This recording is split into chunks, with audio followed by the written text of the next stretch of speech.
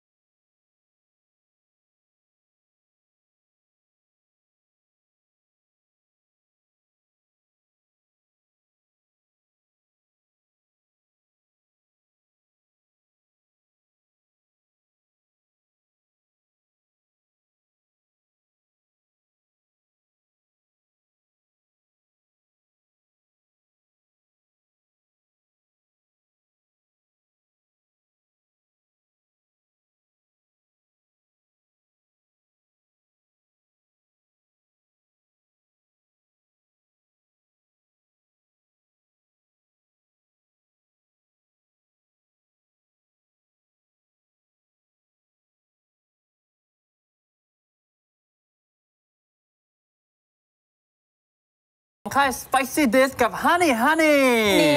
อันนี้จ้าโอ้นี่มีของฝากมาฝากด้วยครับเป็นเฟสชิลจากรายการเรา ใช่แล้วค่ะคุณได้เลยใช่ไหมเอาสัมภาษณ์ได้เลยครับอะเดี๋ยวให้น้องฟังขึ้นมาอยู่ข้างหน้ากันนิดหนึ่งค่ะคุณครับสวัสดีอย่างเป็นทางการอีกหนึ่งสวัสดีรอบครั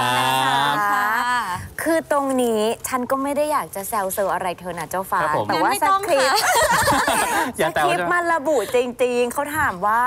เอ๊ฮันนี่ฮันนี่เนี่ยในความหมาย มีสื่อถึงใครหรือเปล่า เออ ก็สื่อถึงการแอบรักทุกคนนะคะ อ๋อแอบรักทุกคนใช่ฮันนี่ฮันนี่โอ้ยผมนี่เข้าใจผิดไปหมดเลย โอ้ตอนแรกนึกว่าเป็นเรื่องของแบบคุณน้ำพึ่งคุณน้ำพึ่งอะไรอย่างเงี้ย ไม่ใช่ฮันนี่เนี่ยแปลว่าที่รักครับผมเออเออ มันก็คือความหมายที่แบบแอบซ่อนไว้ว่าเราแบบชอบใครสักคนหนึ่งอะไรอย่างนี้ใช่ค่ะ คิดว่าเป็นความรู้สึกที่ทุกคนน่าจะเคยมีแอบปลื้มแอบชอบ แล้วก็อ่ายังไม่กล้าบอก แต่ก็ยังไม่อยากให้เขาไปมีใคร อ๋อแบบนี้อะ พูดถึงเรื่องของการมาเป็นศิลปินเดี่ยวสักนิดหนึ่งค่ะนะครับ ตอนที่เราตัดสินใจออกมาเป็นศิลปินเดี่ยวนี้มีความคิดแบบว่ายังไงบ้างมีกังวลบ้างไหมอ่ารายการนานไหมคะนั่งจะได้นั่งคุยยาวได้เราย้อนกลับไปเมื่อประมาณ 25 ปีที่แล้วเรื่องยาวเท้าความยาวยาวไปเกิยาวนไปเออจริงๆแล้วก็มีความคิดอยู่นานเหมือนกันครัค่ะบเพราะว่า ปกติแล้วเราจะทำงานกันเป็นกลุ่มใช่ไหมคะอืมพอต้องออกมาทำงานเพลงคนเดียวเนี่ยก็จะมีความกังวลแล้วก็มีความเหงาบ้าง แต่ด้วยด้วยการทำงานเป็นกลุ่มเนี่ยเวลาเราไม่ค่อยตรงกันอืมฟังก็เลยถามตัวเองว่าเรายังชอบการร้องเพลงอยู่มากน้อยแค่ไหน พอตอบกับตัวเองได้ว่าเออการร้องเพลงเป็นสิ่งที่เราชอบจริง ๆ ก็เลยคิดว่า ถ้าเกิดว่าเพื่อนไม่มีเวลาเราก็ต้อง ลุยของเราแล้วลุยขอค่ะงเราแหละใช่ อ่าลุยเดี่ยวก็ได้ ใช่ก็เลยตัดสินใจว่าตอนนี้เราอยากจะทำเป็นเหมือนแบบนักร้องเดี่ยว ในการที่จะเป็นศิลปินน้องใหม่นะคะกับค่าย Spicy d i s ดังนั้นแต่ว่าภาพต่างๆ ในเรื่องของการเป็นศิลปินกลุ่มของค่ะเจฟังแก้วก็ยังสามารถเจอได้อยู่หรือเปล่า เจอได้ค่ะ เจอได้ไม่ไม่ได้มีปัญหาหรือทะเลาะอะไรกันเลย พวกเรานี่คือยังแบบเป็นเพื่อนที่ดี แล้วก็ยังรวมกลุ่มกันเป็นเฟย์ฟังแก้วครั้งคราวค่ะ ล่าสุดก็มี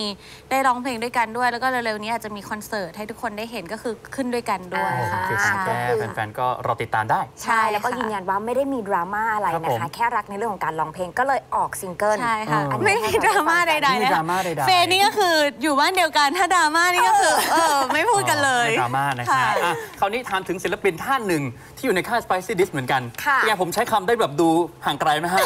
เป็นศิลปินท่านหนึ่งพี่เป้วงไม้ นี่ไงนางก็ไปเป็นเอไงอไปงั้นไปเป็นไปเป็น ฉันระบุชื่อเลยดีกว่าครับผมศิลปินท่านนั้นคุณว่านธนกิจค่ะคุณเออเป็นศิลปินรุ่นพี่ค่ะที่อครับยู่ผในม ค่ายเขาค่ะมีการแบบมาช่วยทำเพลงหรืออะไรเอบ้างไหมฮะอจริง ๆ ก็หลักๆก็เป็นกำลังใจให้อ๋อมากกว่า แล้วก็ให้ให้คำปรึกษาเล็กน้อย เพราะว่า พี่ว่านเองเขาก็อยู่ในค่าย Spicy Days ครับก่อนเราอะไรเงี้ยค่ะ ก็เหมือนเป็นการดูรีวิวจากผู้ใช้จริง อ่าเหมือนซื้อครีมกระปุกหนึ่งเราอ่าจะไปดูคำโฆษณาก็ไม่ได้อ๋อเราต้องถามผู้ใช้จริงว่ามันดีจริงหรือเปล่าเออซึ่งพี่ว่านก็บอกว่าที่ Spicy Days เนี่ยน่ารัก พี่ๆทีมงานดูแลดีมากค่ะ แล้วก็เลยรู้สึกวางใจที่จะมาเป็นน้องใหม่ในค่ายนะคะ แล้วก็มาเป็นเพลง Honey Honey ที่พวกเราได้ฟังกัน ครับซึ่งเราอะได้ยินมาว่าคุณน่ะใส่ใจในเรื่องของการแบบ ทำเพลงเพลงนี้มากถึงขั้นขอร้องแรปเองเลย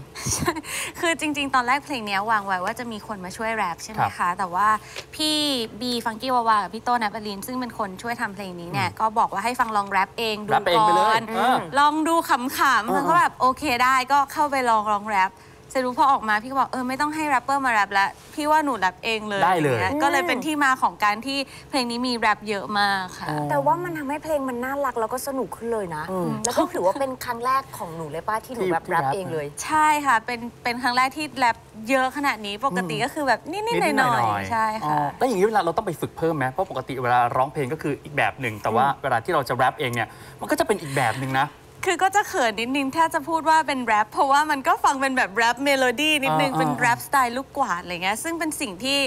รู้สึกว่าพี่เขาบอกว่า โอเคแรปแบบเนี้ยดีแล้วเป็นตัวเราเองอะค่ะแล้วก็เข้ากับเพลออง กมาน่ารักเข้ากับเพลงด้วย ใช่ครับค่ะผม อะนี่ก็คือเพลงนะคะซิงเกิลแรกที่เราได้ฟังกันนะคะ ในบทบาทของการเป็นศิลปินเดี่ยว อยากให้ฟังฝากผลงานหน่อยดีกว่า ค่ะก็ ฝากเพลงซิงเกิลแรกของฟางด้วยนะคะ ชื่อเพลงว่า Honey Honey นะคะ ก็เป็นโซโล่ซิงเกิลแรกเลย ให้ทุกคนไปติดตาม MV ออกแล้วนะคะ หรือว่าจะติดตามข่าวสารอื่นๆ ได้ทาง Instagram ของฟางนะคะ รวมไปถึง Facebook Fanpage นะคะฟังฟัง Official ค่ะ นี่ฝากไปด้วยนะครับ วันนี้ขอบคุณมากที่มาร้องเพลงเพราะๆให้เราฟังในนายเอนเตอร์เทนครับผม ขอบคุณขคอรับบ คุณค่ะ ขอบคุณค่ะ แล้ววันนี้